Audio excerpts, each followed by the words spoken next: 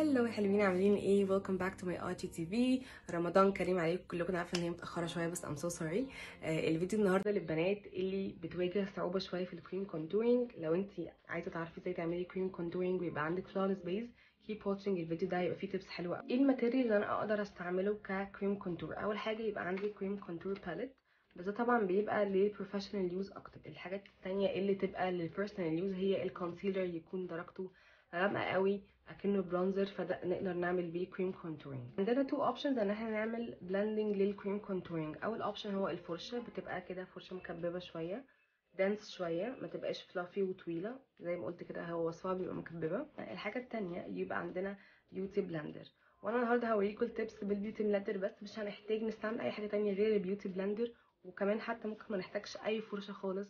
إن إحنا نعمل ال base بتاع وش أول tip عندي إن أنا هاخد ال beauty blender دي بالحتة اللي تحت مدورة دي هاخد ال moisturizer بتاعي وأبدأ أوزعه على وشي.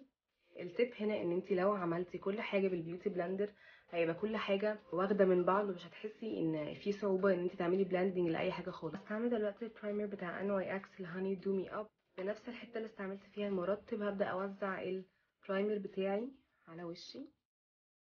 زي ما قلت لكم ده هيساعد ان ال foundation وال contour يتعملوا blending بطريقة سهلة جدا ومش هتواجهوا أي صعوبة ان يطلع مقطع أو الحاجات اللي بنشوفها اللي مش بتحبها دي. هاخد ال foundation بتاعي أحطه على إيدي وأعمله blending عادي بنفس الحتة بتاعه ال beauty blender اللي استعملت فيها المرطب وال primer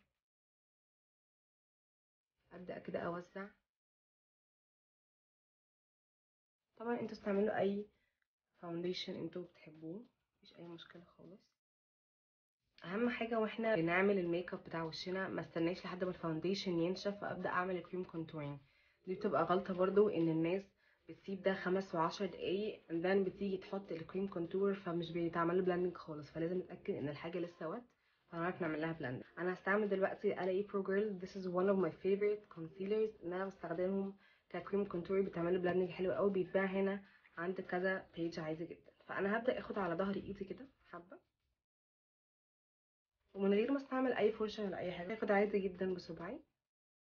وأبدأ إن أنا أحط في الأماكن اللي أنا عايزة أعمل cream contour ليها. أنتوا ممكن تستعملوا flat brush عادي تحطوا بيها ال product على وشكم.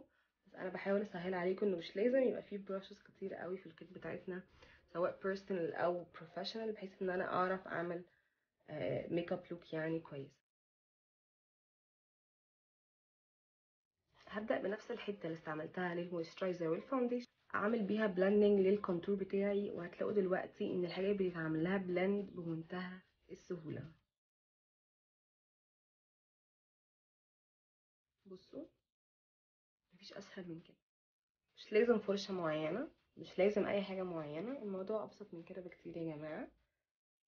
tip تانية أنا لو عندي cream contour درجته غامقة جدا جدا جدا وأنا مثلا درجتي فاتحة ممكن آخد نقطة من ال concealer الغامق ده ويعملوا blending مع ال foundation فيديني ال shade ال contour بتاعتي اللي تليق على درجة وشي. دلوقتي عملت blending لل concealer بتاعي بالحتة دي.